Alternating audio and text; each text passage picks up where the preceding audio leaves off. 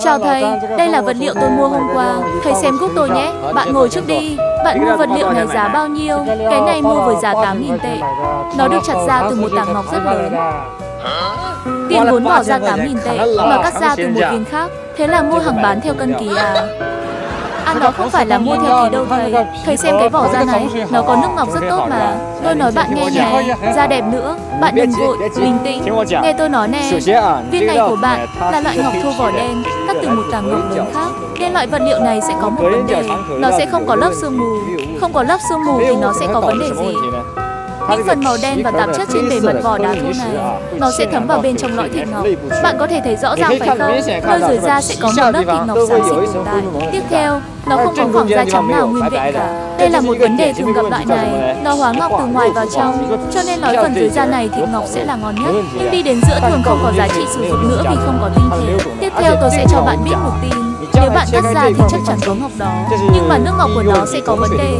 Nhìn chung chất liệu này, đáy của nó sẽ là màu xám. Nên nếu làm hàng da nó sẽ không có giá trị cao. Đó là điều chúng ta thường gọi cùng một đồng công một nén đấy. Chính là bạn tốn tiền công để khắc nó. Nhưng bạn bán xong nhiều khi cũng không đủ chi phí đó nữa. Vậy vấn đề cuối cùng là bạn có thể nhìn thấy rất rõ vật liệu này. Bề mặt của bạn toàn là loại vết nứt đang chéo nhau. Thấy chưa? Thì sao hả thầy? Tất cả các vết nứt này sẽ đi vào thịt Cho dù là có nước ngọc Nhưng mà nhìn chỗ này xem. Tuy có đặc điểm của tinh thể ngọc Nhưng không có nhiều giá trị sử dụng. Vật liệu này tôi thấy 8.000 tệ chắc chắn sẽ mất tiền đó Vậy bây giờ làm sao bây giờ? Vật liệu này của bạn, lời khuyên của tôi, vật liệu này bạn vừa mua tối qua. Bây giờ nếu bạn có thể tìm thấy người bán đá, bạn có thể trả lại. Chỉ có một cách đó thôi, trả hàng đòi tiền. Thế thì chịu rồi, sao tôi tìm được họ đây?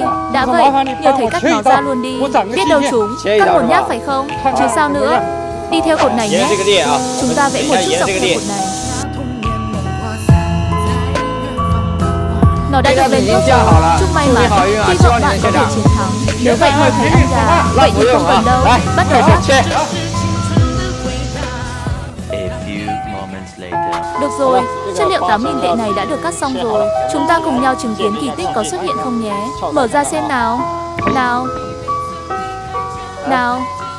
Nhìn tổng thể xem. Trước hết, tôi vừa dự đoán rằng dưới da này sẽ có nước ngọc và thịt ngọc. Bạn có thấy không? Dưới da này có nước ngọc phải không? Nhưng càng đi sâu vào phần lõi, nước ngọc càng kém. Đó bạn thấy chưa?